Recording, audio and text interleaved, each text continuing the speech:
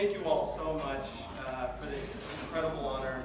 Uh, thank you, Desiree, Keisha, Denise, Portia, Brooke, I haven't seen you yet, thank you.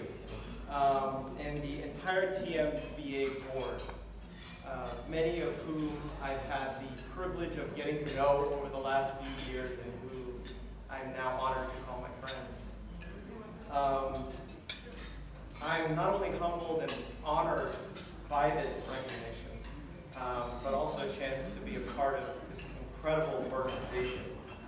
Uh, the lawyers I've met through TMBA, extremely interesting, they're passionate, they're bright, and they're always keeping their eyes on the bigger picture.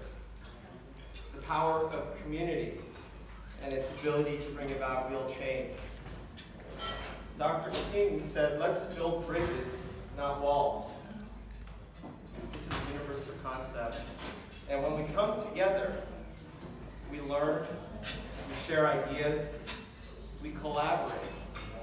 And when we are intentional on building these meaningful relationships, we have the ability to bring about real change.